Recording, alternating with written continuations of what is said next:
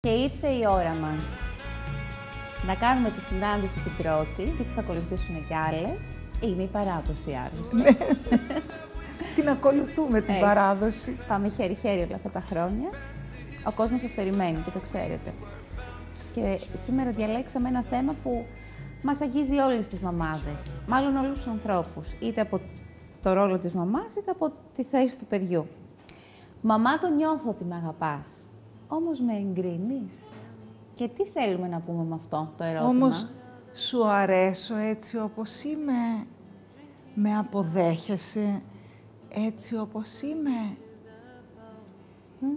Γιατί τα μεγάλα άγχη του κάθε ανθρώπου από τη γέννησή του μέχρι που θα τελειώσει είναι ο θάνατος που δεν τον έχουμε ξεπεράσει, το άγχος του αποχωρισμού από τη μάνα, το άγχος της εγκατάλειψης από τη μάνα και η αποδοχή.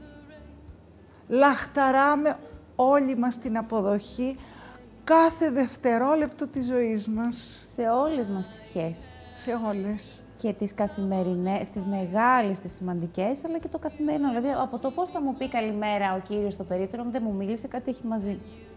Ακριβώς. Λαχταράμε την αποδοχή. Και δεν το ξέρουμε, ενώ το λαχταράμε οι ίδιοι, το ξεχνάμε στην ανατροφή των παιδιών μας, στη σχέση μας με τον σύντροφό μας, στη σχέση μας με τους γονείς μας, με τους συγγενείς, το ξεχνάμε, ότι λαχταράμε όλη την αποδοχή. Και θα πει τώρα η κάθε μάνα που μας ακούει, μα είναι δυνατόν εγώ να μην εγκρίνω το παιδί μου, να μην μ' αρέσει το παιδί μου. Φυσικά και το εγκρίνω και μ' αρέσει. Όπως είναι; Τρία ερωτηματικά. Όχι. Λοιπόν, να το πιάσουμε από την αρχή. Όλες οι μανάδες αγαπάνε το παιδί τους. Δεν υπάρχει μάνα που να ξεφεύγει από τον κανόνα της αγάπης. Γιατί υπάρχει σε όλο το ζωικό βασίλειο. Είναι έμφυτη. Από εκεί και πέρα όμως το όνομα της αγάπης έχουν γίνει τα μεγαλύτερα λάθη. Γιατί, γιατί η αγάπη έχει χίλιες εκφάνσεις, δεν είναι μία. Σου λέω σ' αγαπώ. Και το ερώτημά σου είναι, με τι τρόπο με αγαπάς; Με αγαπάς έτσι ώστε να αισθάνομαι ότι υπάρχω για σένα; Ότι ζω; Γιατί πολλές φορές δεν αισθάνεσαι ότι ζεις, ότι υπάρχεις; Δεν το καταλαβαίνω τώρα αυτό που μου Θα σου το λέτε. εξηγήσω. Ναι. Λοιπόν, αγαπάει η μαμά το παιδί της. Το φροντίζει, φροντίζει τις βιολογικές του ανάγκες. Αλλά υπάρχει μέσα στον κάθε άνθρωπο μία υπόσταση που λέγεται ψυχή, την οποία αγνοούμε. Κανείς δεν σκέφτεται, το φρόντισα το παιδί βιολογικά. Την ψυχούλα του τη φρόντισα. Η ψυχή αυτή λαχταρά για μία ασφάλεια, να μην αισθάνεται το φόβο του αποχωρισμού και της εγκατάλειψης, να αισθάνεται την αποδοχή, το βλέμμα της μάνας να το τυλίγει και να του λέει «Σε δέχομαι όπως είσαι, κοντό, χοντρό, κουτό, δεν μαθαίνεις ε, τα μαθήματά σου, δεν θα γίνεις σημαντικός επιστήμονας. Εγώ σε αποδέχομαι όπως είσαι, γιατί είσαι το παιδί μου. Ποια από μας το καταφέρνει αυτό; Να ρωτήσω, αυτό το μήνυμα το στέλνουμε στο παιδί μας λεκτικά, του λέμε κάθε μέρα, εγώ σα- σε δέχομαι έτσι όπως είσαι και σε αγαπώ όπως είσαι, ή έχει να κάνει με τη ματιά μας, με το σώμα μας, με την αγκαλιά μας, με τη διάθεσή μας απέναντί του, με όλο αυτό το μη λεκτικό που βγαίνει χωρίς να το πάρουμε κι εμείς χαμπάρι και φτάνει στον άλλο. Με το εξολεκτικό πρώτα και κυρίως με τη βλεμματική επαφή. Το βλέμμα είναι η πύλη των συναισθημάτων. Με το βλέμμα λέμε τα πάντα. Τον παλιό καιρό Ανδριανή ερωτευόντουσαν οι άνθρωποι χωρίς να έχουν πει μία λέξη. Μόνο με τα βλέμματα τα είχαν πει όλα. Άρα και με το παιδί μας η πρώτη βαθιά επικοινωνία είναι μέσω του βλέμματος. Και υπάρχουν δύσκολες μητέρες, θα τις πούμε στη συνέχεια, οι οποίες δεν έχουν βλεμματική επαφή με το παιδί. Ποτέ. Για πες μου πώς αισθάνεσαι. Εν είδη τιμωρία. Στο... Όχι. Όχι, ε, εγώ αισθάνομαι πάρα ασυνείδητα. πολύ άσχημα. Εννοείται Λοιπόν, αυτό. Για πες μου τώρα, πώς, Μπλοκάρισμα, πώς πάγωμα. αισθάνεσαι που κοιτάζω κάτω; Ότι δεν θες να επικοινωνήσεις Αμέσως σε μαζί πιάνει η μου. αμηχανία. Ναι. Δεν μπορούν να έχουν βλεμματική επαφή για το παιδί, για δικούς τους προσωπικούς λόγους, για δικές τους δυσκολίες και δεν το αντιλαμβάνονται. Αλλάζουν το μωρό, δεν το αφήνουν να είναι λερωμένο, αλλά δεν το κοιτάνε στα μάτια. Το καλύτερο φαγητό θα του έχουν. Όλα τα φρούτα και τα λαχανικά. Καθαρά ρούχα, σπίτι Όλα στην τακτοποιημένο, εντέλεια. Δραστηριότητες προγραμματισμένες, τα καλύτερα στο παιδί. Θα το πάει βόλτα, θα το φροντίσει όλα στην εντέλεια. Θα το στείλει στο σχολείο, θα το στείλει στα μαθήματά του. Μαμά, μαμά! Ναι, Αυτή τι η είναι; μάνα τα ναι, αγαπά τι το παιδί, είναι; δεν το αγαπά. Βεβαίως το αγαπάει. Αλλά έχει δικά της Έχει θέματα. δικούς το της παιδί. Προσωπικούς λόγους που δεν μπορεί να καταθέσει την αγάπη της με το σωστό τρόπο. Είναι ελλειπής η αγάπη, υπάρχει, είναι ελλειπής. Και αισθάνεται, η ίδια δεν καταλαβαίνει τίποτα, αισθάνεται ότι κάνει το καθήκον της. Το φροντίζει το παιδί. Το νοιάζεται, αλλά το παιδί λιμοκτονεί ψυχικά, πεινάει ψυχικά. Για αυτούς τους λόγους που είπαμε, για το βλέμμα. Χωρίς το βλέμμα το παιδί αισθάνεται ότι είναι ανύπαρκτο. Δεν υπάρχει. Δεν υπάρχει σαν οντότητα αν το βλέμμα της μάνας δεν συναντάει το δικό του βλέμμα.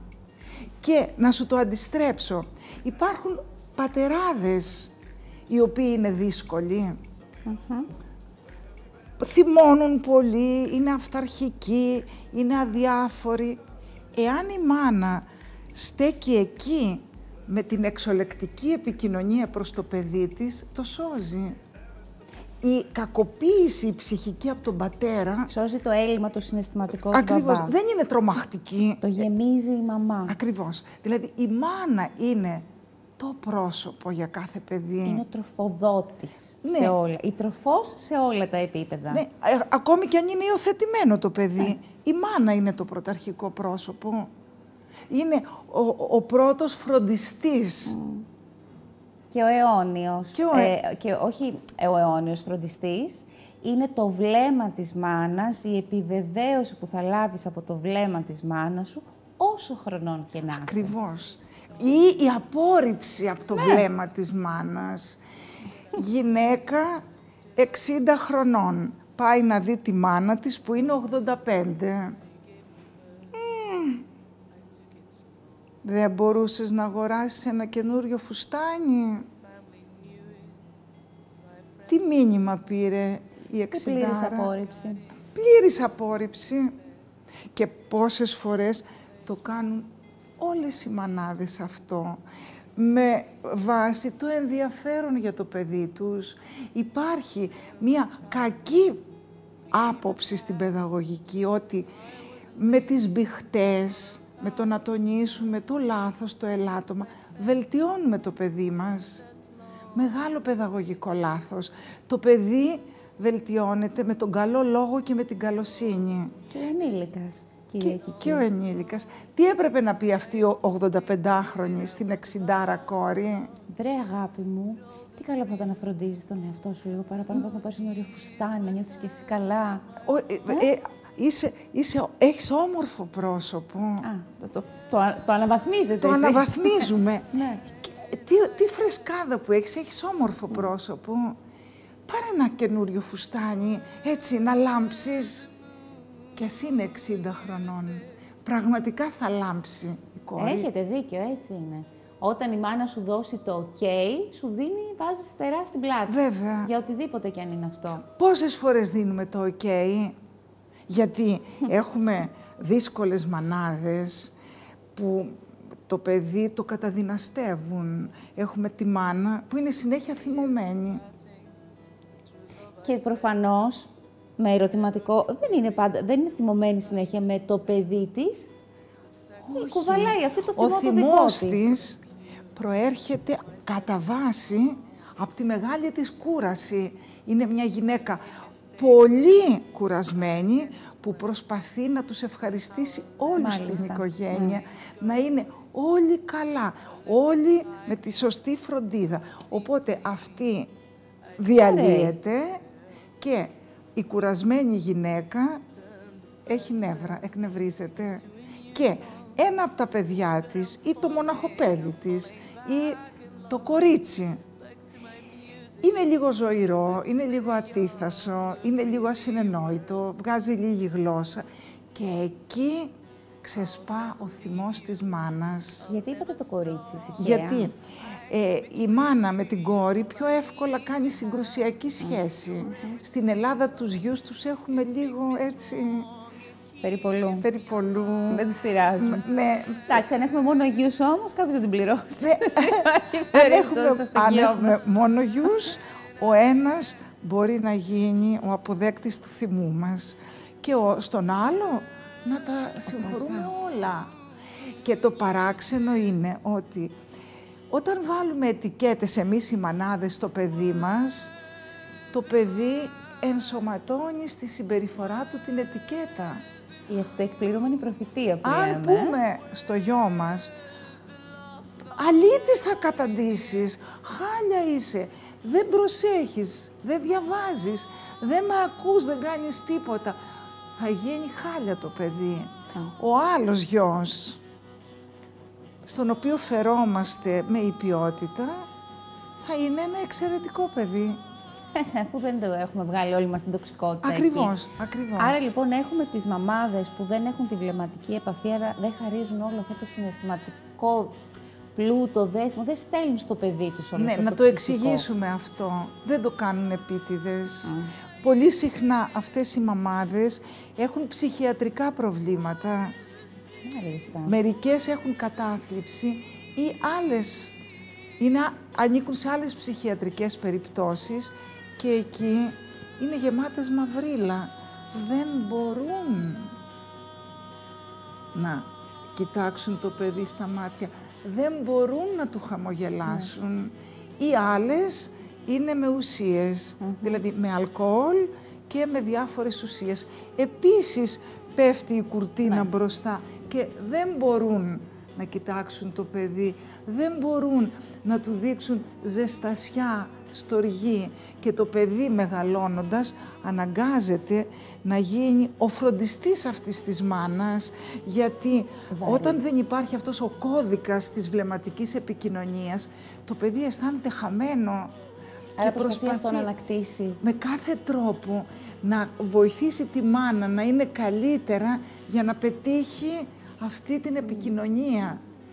Και έτσι γίνεται ο γονιός του γονιού, ο Πολύ γονιός της σκληρό, μάνας, πολύ, πολύ σκληρό που είναι αυτό. πάρα πολύ βαρύ. Πολύ βαρύ. Ναι. Πέρα λοιπόν από τις μαμάδες που δεν έχουν τη βλεμματική επαφή. Και έχουν, το έχουν εξηγήσαμε, λόγους, Ναι. δεν το κάνουν επίτηδες.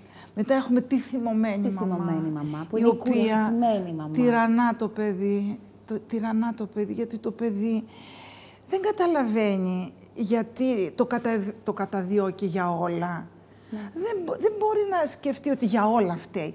Πετάει τα παπούτσια του μόλις μπει στο σπίτι, θυμώνει η μάνα. Πετάει την τσάντα, θυμώνει η μάνα. Πάει στο τραπέζι και αρπάζει ένα κομμάτι φαγητό πριν κάτσουνε, θυμώνει η Που μάνα. την ίδια στιγμή δεν θυμώνει με κάποιον άλλον της οικογένειας; Όχι. Έχει προλάβει να θυμώσει με τον κα- στο, ένα στοχοποιεί, συγκεκριμένο. στοχοποιεί ένα συγκεκριμένο παιδί. Συχνά θυμώνει και με τον άντρα της. Ναι.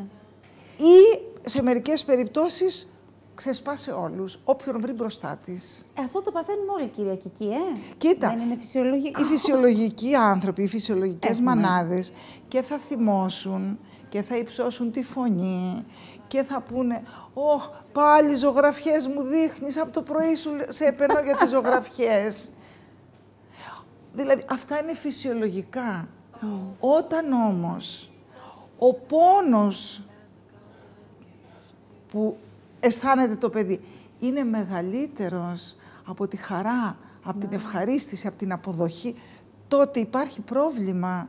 Αυτό λοιπόν πρέπει να μετράμε. Σημαντικό όπως το θέτετε. Ο πόνος που εισπράττει το παιδί μήπως είναι συνεχής; Και αν εγώ είμαι αυτή η μάνα, η θυμωμένη, η πολύ κουρασμένη που έχω στοχοποιήσει το ένα μου παιδί και με, με το που αναπνέει είναι αιτία για να το θυμώσω και να του επιτεθώ. Είμαι και εγώ ίδια σε θέση αφενός να αναγνωρίσω ότι αυτό που μου λέει η κυρία Τζορτζακάκη αυτή τη στιγμή περιγράφει εμένα και αφετέρου είμαι σε θέση πάλι να μετρήσω τι είναι μεγαλύτερο, ο πόνος που ζει το παιδί μου και βιώνει στην καθημερινότητα από τη χαρά που εισπράττει από τη σχέση μας. Πρώτον, πρέπει να το κάνει κάποιος άλλος. Δεν το παραδέχεσαι πρώτα. Φταίει το παιδί. Ναι. Μα είναι έτσι Είναι ανυπόφορο.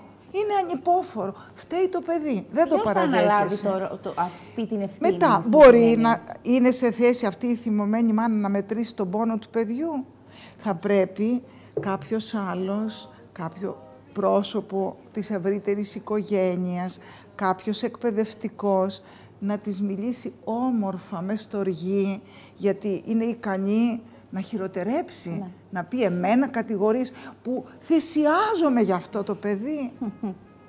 Έτσι. Είναι πολύ κλασική εικόνα αυτό που μεταφέρετε τώρα. Ε; Πολύ, πολύ συνηθισμένη εικόνα. Υπάρχουν πολλά δυστυχισμένα παιδιά γιατί δεν κατανοούν γιατί με καταδιώκει συνέχεια. Προσπαθεί να συνετίσει, να ελέγξει το παιδί μέσα από το θυμό. Είναι μια μάνα που μειώνει το παιδί της ή εκεί πάμε ναι, σε άλλη πάνω ομάδα; στο θυμό και κατάρες ξεστομίζει και βρισιές ξεστομίζει και το μειώνει και το ταπεινώνει. Γιατί ο θυμός είναι ανεξέλεγκτος σε όλους μας. Και το παιδί θα μάθει να επιβιώνει. Θα μάθει. Όχι, δεν μαθαίνει. Δεν μαθαίνει. Θα επιβιώσει όμως. Για να επιβιώσει, παγώνει τα συναισθήματά του. Γίνεται νεκρό ψυχικά. Σαν ενήλικας πώς λειτουργεί μετά; Δεν νιώθει τίποτα. Ούτε χαρά, ούτε στενοχώρια, ούτε έρωτα, ούτε λύπη, ούτε τίποτε. Παγώνει εσωτερικά. Γιατί αλλιώς δεν μπορεί να επιβιώσει. Μπορεί να σπάσει αυτός ο πάγος. Πολύ δύσκολα πολύ δύσκολα. Γιατί πάντα έχω την αγωνία όταν συζητάμε και βλέπει κάποιος την εκπομπή και μπορεί να ταυτιστεί με αυτό που λέμε, να αναγνωρίσει τον εαυτό του μέσα σε αυτό. Ένας άνθρωπος που πριν από πολλά χρόνια ήταν ένα παιδί που το βίωνε αυτό και σήμερα ένας ενήλικας ανάπηρος, παγωμένος, νεκρός ψυχικά. Πώς θα μπορούσε να. Θέλει πάρα πολύ δουλειά με ειδικό για να μπορέσει να έρθει ξανά σε επαφή με τα συναισθήματά του. Δεν είναι σε επαφή με τα ναι. συναισθήματά του. Δεν τα ξέρει Του λέει η γυναίκα του, μ' αγαπάς. Η απάντηση είναι, αφού το ξέρεις. Δεν μπορεί να πεις «Σ' αγαπώ», αφού το ξέρεις. Υπεκφυγή. Δεν μπορεί να δείξει στοργή, δεν μπορεί να δείξει τρυφερότητα. Γιατί τα πάγωσε στην παιδική ηλικία από ανάγκη για να ναι. επιβιώσει. Εκεί λοιπόν η μάνα αυτή πρέπει να ζητήσει ιατρική βοήθεια για να πέσει ο θυμός, δηλαδή να δει γιατί είναι τόσο θυμωμένη και να λιγοστέψει την κούρασή της. Ποιες άλλες, να πω τώρα, κατηγορίες μαμάδων; Ναι. Κατηγορίες ναι, μαμάδων. Βέβαια. Ζουν ναι. ανάμεσά η ελεγκτική, η ελεγκτική μητέρα. Τι κάνει η ελεγκτική Η εξουσιαστική επιβάλλει στο παιδί της πώς θα νιώθει, τι συναισθήματα θα έχει. Με τη Μαρία κάνεις παρέα. Αυτή δεν αξίζει τίποτα, ούτε η οικογένειά της αξίζει τίποτα. Μην την ξαναπλησιάσεις. Δηλαδή θέλει να εξουσιάσει ακόμη και τη συμπάθεια του παιδιού ναι. της, ακόμη και τα συναισθήματα. Αλλή και τρισαλής αυτόν ή αυτή που θα ερωτευτεί το παιδί της. Mm-hmm. Αυτοί είναι ερωτεύτηκες, η τελευταία των τελευταίων. Και αυτό από αγάπη θα, το κάνει Αυτόν θα παντρευτείς. Βεβαίως από αγάπη. Το καλό σου θέλω, Και από ενδιαφέρον. Όταν θα κάνεις παιδιά, θα, θα με θυμηθείς. Και αυτή το διαλύει το μέσα παιδί. της; Το δια... Εξουσία. Η εξουσία είναι πάρα πολύ γλυκιά. Αγαπάει την εξουσία και αφού το παιδί είναι δικό της, να φοβάσαι τους ανθρώπους που λένε «Η Μαρία μου, ο Γιώργος μου», διότι σημαίνει εξουσία. Το παιδί δεν είναι δικό μου, δεν μπορώ να πω ο Γιώργος μου. Το παιδί είναι του εαυτού του. Ναι. Ή εγώ ανέλαβα την υπέροχη εμπειρία να το γεννήσω, να το μεγαλώσω, να το παραδώσω στην κοινωνία. Δεν είναι δικό μου το παιδί. Δεν μπορώ να πω ο Γιώργος μου, η Μαρία μου. Δεν είναι δικά μου τα παιδιά. Όταν λοιπόν βάζω το κτητικό μου, όπα, από να μας πίσω ανησυχήσει, δεν είναι κρύβεται- επιφερότητα λοιπόν. Όχι, είναι εξουσία. Α, ε, ασυνείδητη. Δεν το, δεν το συναισθάνομαι ότι είναι εξουσιαστικό αυτό το μου. Ναι. Άρα το παιδί αυτό δεν θα ξεφύγει ποτέ από τη μάνα. Ή θα πάει στο περίπτωο για τσιγάρα και θα πει αντίο. Δεν θα Καμία επαφή ξαναεμφανιστεί. ξανά με τη μάνα και Ναι. με ό,τι μπορεί να θυμίζει τη Ναι, μάνα. ναι. Άλλη ομάδα. Άλλη ομάδα. Έχουμε την ε, ναρκισιστική μητέρα. Ναρκισιστική και εκδικητική μητέρα. κεφάλαιο αυτό. Μεγάλο το, νομίζω το πιο κεφάλαιο. δύσκολο από όλα. Δεν ξέρω, είναι Το το, πιο πιο δύσκολο. Πολύ δύσκολο. Το παιδί είναι το σκαλοπάτι που θα αναδείξει τη μητέρα. Όπου βλέπεις ε, στα, στο διεθνές ε, δίκτυο Το ειδήσεων... στερέωμα. Α, τι; ε, παιδιά θαύματα. Επτά χρόνων και έκανε συναυλία στο Carnegie Hall. Δέκα χρόνων και είναι ηθοποιός φτασμένος στο Hollywood. Από πίσω βρίσκεται μια ναρκισιστική μητέρα. Που τι θέλει να θρέψει. Θυσιάζει το παιδί για να θρέψει το εγώ της. Δικό μου είναι αυτό το παιδί που παίζει τέλεια πιάνο και καμαρώνει η μητέρα γιατί αυτή το προωθεί. Μεγαλώνοντας το παιδί, αλίμονό του αν προσπαθήσει να πει, να, να περιαυτολογήσει λιγάκι. Είμαι πολύ καλός στο πιάνο και Ναι. προσπα- δούλευα πάρα πολλά χρόνια σε όλη μου τη ζωή για να το Η καταφέρω. Μανούλα σε πήγαινε παντού. Εγώ θυσίασα την καριέρα μου για να σε πηγαίνω στις καλύτερες δασκάλες πιάνου. Τσιμουδιά Και το αυτό το παιδί πώς κατα... τι παθαίνει για να καταφέρει να επιβιώσει και πώς είναι σαν ενήλικας; διαλύεται διότι πρέπει να υποστηρίζει τα καπρίτσια της, μάμα, της μαμάς του. Μάλιστα. Ό,τι καπρίτσιο έχει η μαμά. Μπαλαρίνα θέλει να την κάνει την κόρη. Πρέπει η κόρη να φτύσει αίμα, να γίνει πρίμα μπαλαρίνα όμως. Η, ο Νάρκισσος δεν αρκείται σε μετριότητες. Για να την αποδεχθεί για εκείνη τη στιγμή. Δεν έκλεισε εκεί το συμβόλαιο. Όχι. Είναι συνεχής αγώνας, Όχι. κάθε λεπτό. Είναι- Αν λοιπόν η κόρη ερωτευτεί κάποιον και είναι ευτυχισμένη, η μάνα γίνεται μοχθηρή, γίνεται εκδικητική. Προς την κόρη Προς ή την προς τον κόρη. κάποιον; Προς την κόρη. Προς την κόρη. Δεν αντέχει την προσωπική χαρά και την προσωπική ευτυχία της κόρης ή του γιου, μπορείς στην θέση παιδιού, της τέλος κόρης, πάντων, του ναι. παιδιού. Δηλαδή, έρχεται η κόρη και λέει «Μαμά, γνώρισα ένα νεαρό καταπληκτικό. Μμμ, να δούμε πόσο θα κρατήσει ο ενθουσιασμός του». Του. Θα σε απορρίψει. Ο του. Κατευθείαν. δεν είναι- Έχει γειωθεί κάτω από τη γη. η κόρη. Κατευθείαν. Αξίζει μόνο ό,τι έχει σχέση με την προσπάθεια της μαμάς. Περιαυτολογεί συνεχώς ότι πίσω από την επιτυχία του παιδιού, πίσω από την πρόοδο, πίσω από οτιδήποτε έχει κατορθώσει, βρίσκεται η προσπάθεια του Νάρκισσου, η προσπάθεια της μαμάς. Θέλω να, να το συνδέσω μέσα μου για να το καταλάβω ακριβώς. Έχουμε λοιπόν αυτούς τους τύπους των μαμάδων και ίσως και άλλους 15 διαφορετικούς. Και μερικές φορές ε, ε, ε, έχουμε και από τις Μία σύνδεση δύο, μο- ναι, δύο κοινά τρεις χαρακτηριστικά που περιπτώσεις κοινά συνδυαστικά χαρακτηριστικά. λειτουργούν. Πώς τα παιδιά αυτών λοιπόν των μαμάδων βιώνουν την, ε, τη μη έγκριση; Δεν, μάλλον, για να το πω πιο απλά. Τη μία αποδοχή. Τη μία αποδοχή, Τη ναι. μία αποδοχή. Πα- Τη, τη βιώνουν με τρομερό ψυχικό κόστος. Πρώτα-πρώτα είναι ανασφαλή, παιδιά. Διότι αυτές οι μαμάδες είναι μια στο κρύο, μια στη ζέστη. Μια επενούν το παιδί και μια το ρίχνουν στα τάρταρα. Οπότε εκεί το παιδί το, τα χάνει. Ναι. Τελικά, τι νιώθει για μένα η μαμά μου, με αποδέχεται, αφού την επόμενη στιγμή με διαλύει; Είναι εντελώς μπερδεμένο και χωρίς καμία εσωτερική ασφάλεια. Βλέπουμε κάτι επιστήμονες που λένε αυτός είναι έτσι στην άσα, αυτός είναι εδώ, αυτός είναι εκεί. Και μέσα μας τους θαυμάζουμε και λέμε πω πω, τι ξέρουν αυτοί οι άνθρωποι. Ξέρεις ότι πολλοί από αυτούς είναι εντελώς ανασφαλείς; Βεβαίως. Δεν θα έπρεπε. Αφού έχουν Με τα δικά μας κριτήρια δεν θα έπρεπε. Δεν, αφού έχουν Αλλά καταφέρει η τόσα μαμά τους- πράγματα. Ναι, αλλά η μαμά τους, ξέρεις ότι πολλοί από αυτούς τρέμουν, ενώ είναι φτασμένοι, είναι συγγραφείς, είναι ηθοποιοί. Τρέμουν τη γνώμη της μαμάς. Τρέμουν. Ε, έχει γράψει ένα best seller με εκατοντάδες χιλιάδες πωλήσεις.